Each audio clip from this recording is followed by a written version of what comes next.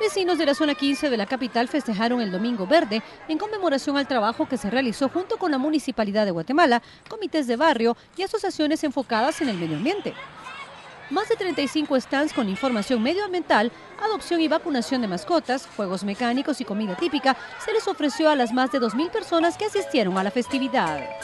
Previo al evento, entre las actividades que vecinos y autoridades ediles realizaron destacaron las jornadas médicas, reforestaciones, eventos en apoyo al reciclaje y revisión de cuencas hídricas del sector con el objetivo de beneficiar a todos. Cohesión ciudadana y medio ambiente son las principales causas por las que surgió este movimiento, indicó Carlos Alejandro Soberanis, alcalde auxiliar de la zona 15.